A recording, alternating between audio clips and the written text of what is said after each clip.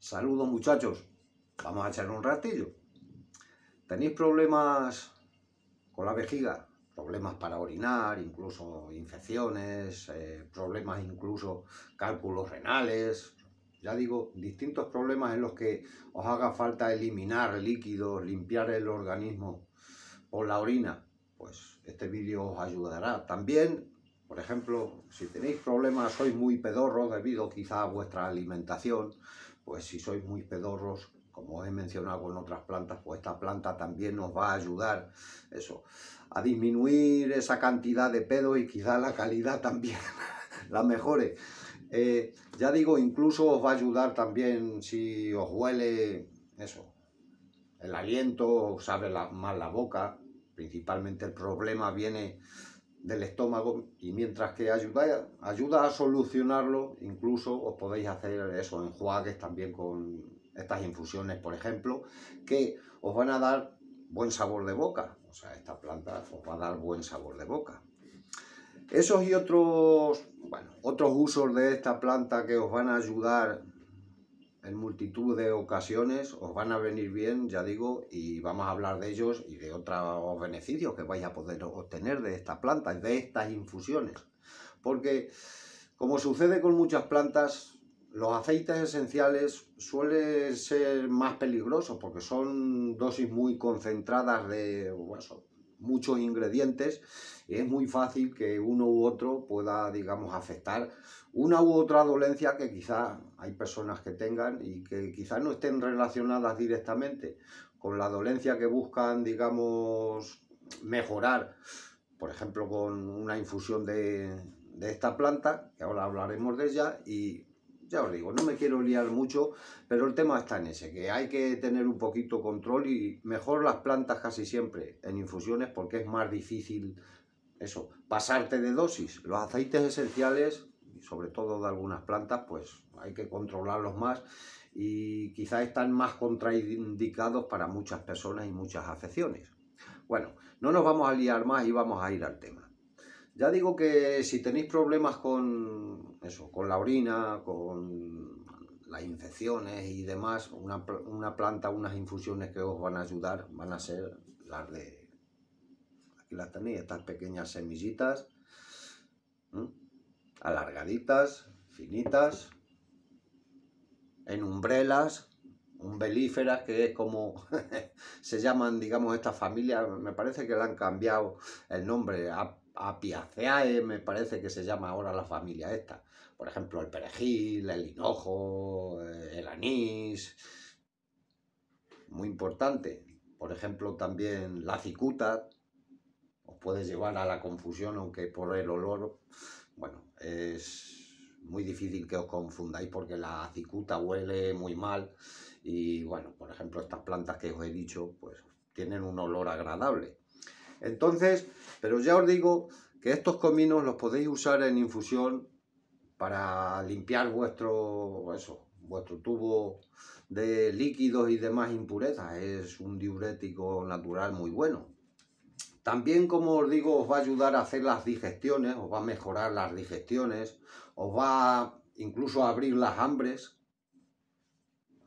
va a abrir las hambres y os va a ayudar a hacer la digestión de eso que, comáis. Incluso os va a ayudar que aunque comáis, os va a ayudar a no adelgazar. Está incluso indicado para pacientes, por ejemplo, que tienen, bueno, están con el tema este de, de la anorexia y todos estos temas, pues no les hace de engordar, pero sí que les abre las hambres para eso, que se alimenten. Y esos alimentos, pues eso, eh, tengan esas fuerzas que le dan al organismo, aunque lo que perjudica y les hace de engordar, pues no les perjudique y no les haga de engordar, por decirlo de alguna manera. O sea, es un buen aperitivo para eso, para abrir las hambres para distintas personas que lo pueden necesitar sin necesidad de eso, de que vayan a engordar con lo que coman, por decirlo de alguna manera, ya sabéis ya os digo, os va a ayudar a hacer las digestiones mejor, os va a ayudar a que no tengáis ese mal aliento y ese, ese, mal aliento y ese mal sabor de boca, Os va a ayudar, por ejemplo, también en dolencias como la, diabetes, os va a limpiar también el cuerpo de triglicéridos y, colesterol. O sea, es un, una planta, una de estas especias, se puede usar en grano, se puede usar en polvo, según para lo que lo queráis. Se pueden usar por ahí algunas recetillas, incluso os he mostrado que se usan los cominos, por ejemplo las berenjenas, por ejemplo unas patatas, un, guiso de patatas también que, os mostré, para el gazpacho, para las ensaladas lo uso, sobre todo en el verano, esas sopas frías o ensaladas al estilo macapeta, como, como me gusta decir, que siempre todas llevan unos poquitos cominos. Es una planta interesante, ya digo, como todas tiene, no hay sin veneno, la dosis hace que sea medicina o veneno, por eso os digo que las infusiones, una infusión, meterlas en las comiditas, en las ensaladas, incluso en los guisos, en los potajes, ya digo, para bajar el nivel de pedos y, y, mejorar la calidad de los, que, de los que no puedas evitar, pues en los potajes, como he mencionado, por ejemplo, también como con el laurel, por ejemplo, pues estos cominos harán que los pedos rebajen un poquito y no sean tan molestosos. Por ejemplo, también es una planta que es muy interesante al nivel de que es, digamos, buena para las mujeres, para regularles la regla y para evitar, sobre todo para las mujeres jóvenes, de que están en periodo de eso, de adaptación a la menstruación, a la regla, pues em, les ayuda a regular la regla y les evita dolores de eso, de la regla, de la menstruación, o al menos se los disminuye. Ya digo que es una planta muy interesante, es, ya digo, es estrogénica, va bien, como algunas veces he mencionado, para las personas que quieran eso, tengan mucho vello, pues esta planta es otra de esas que les va a ayudar a ir perdiendo el vello, tanto si es un hombre como si es una mujer, o sea, le va eso, a subir el nivel de estrógenos, por decirlo de alguna manera. Eh, también es una planta que hay que tener en cuenta que, ya digo, sobre todo los aceites esenciales hay que tener mucho cuidado con ellos. Muchas personas, por ejemplo, que tengan algunas afecciones, digamos, por decirlo de alguna manera, neurológicas, por ejemplo, el Parkinson, por decirlo de alguna manera, pues es una, lo que es sobre todo los aceites están contraindicados, por ejemplo, en las mujeres embarazadas también está contraindicado, incluso durante la lactancia, sobre todo el aceite, aunque hay por ahí algunas, algunas zonas donde en la antigüedad y hoy en día incluso se usaba precisamente para que, eso, para que las mujeres produjeran más leche durante la lactancia o sea, las infusiones, pero no, los aceites. Ya digo que es una planta interesante, siempre hay que revisar todas las posibles contraindicaciones que pueda tener una planta medicinal, por muy buena que sea o muy buena que pueda ser. Os repito, no hay sin veneno, la dosis hace que sea o un veneno o una medicina. Por ejemplo, para la enfermedad de Crohn, me parece que también es, bueno, está contraindicada. Ya digo que hay que echar siempre un vistazo a distintas fuentes científicas, porque lo que se le escapa a uno lo puede saber otro, por decirlo de alguna manera. Y eso, y siempre compenetrar la, la información, por decirlo de alguna manera. Eh, es una planta muy, muy completa, por ejemplo, incluso esas,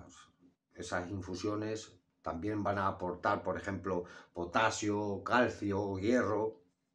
tanto a nuestro organismo como, ya os digo, que va bien para la, anorexia, o sea, el, tema del hierro, por supuesto, es fundamental. El potasio, el calcio va bien para los huesos y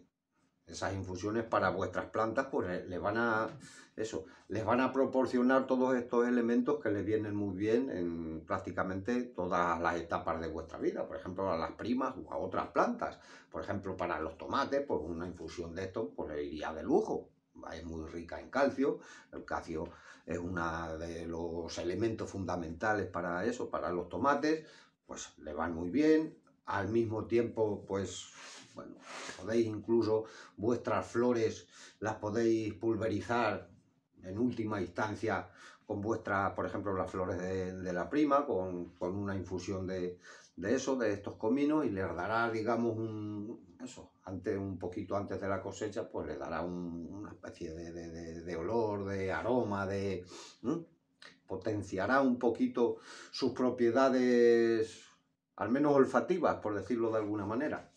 Bueno, ya os digo que ya hemos echado un ratillo contando el tema de esta planta, unos apuntillos en el título, pero luego ya sabéis que hay mucho más.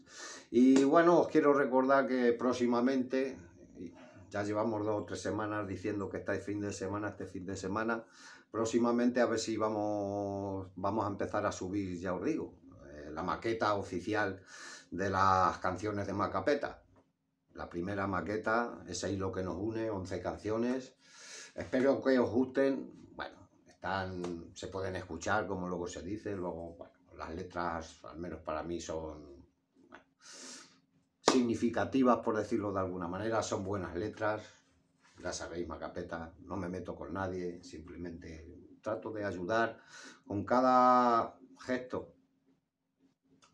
cada paso de mi vida lo máximo que puedo, eso, al universo entero.